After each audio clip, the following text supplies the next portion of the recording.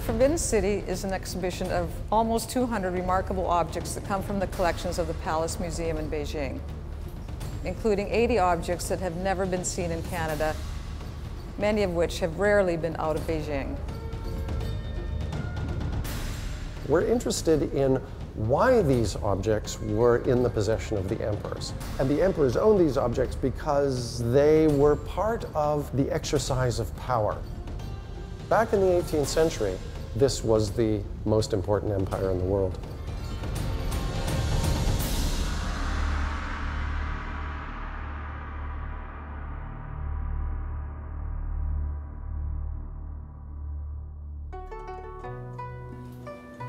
The Forbidden City is the largest palace in the world. It was bigger than Versailles, bigger than Buckingham Palace. It is on 178 acres of land and is comprised of about 980 buildings and courtyards inside what was essentially a walled city. It contained the emperor, of course, he's at the center of everything. It then contained the women charged with producing an heir. There was one empress, lots of concubines. These women could number in the handful or they could number in the dozens officials who come into the Forbidden City to do the business of government had to leave at sunset. And the city was left then to the people who lived there.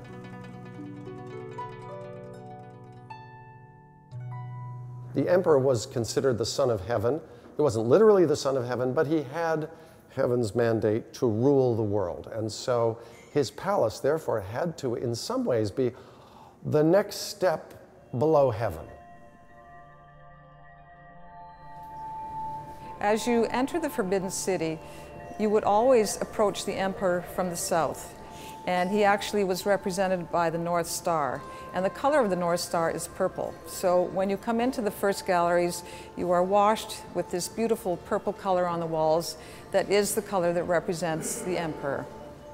As you progress through the exhibition, you eventually get to the inner chambers that would only be used by the emperor himself. There would have been many thrones in the, in the Forbidden City, so wherever you would encounter the emperor, he would be seated higher than you on a throne. In everything that he did, with what he wore, with how he was carried in the sedan, and with the objects that he collected, it was really all an expression of power, which was so important to do when you were managing this vast empire. The role of the women was to produce an heir to the throne. That was their sole purpose in the Forbidden City. Here we see some extraordinary robes that they would have been wearing, some of the decorations for their hair.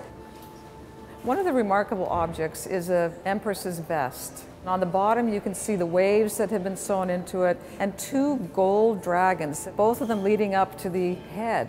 It's this apex of power that represents, again, the emperor's place between the celestial gods and the people on earth.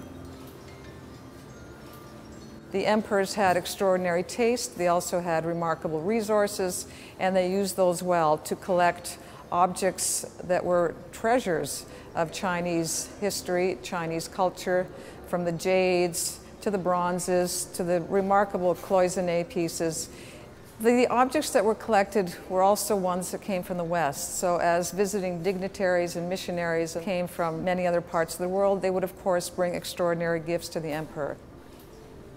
And we end the exhibition with a very special ceramic piece where the word longevity has been written 10,000 times. The intention was that the empire would continue on into eternity.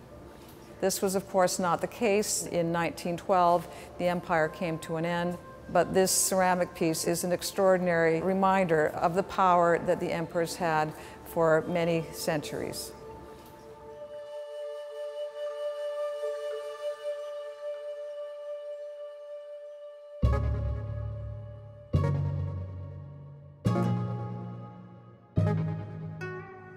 I suppose the first thing I'd like people to take away with is a sense of the variety and complexity of the culture that China has inherited today.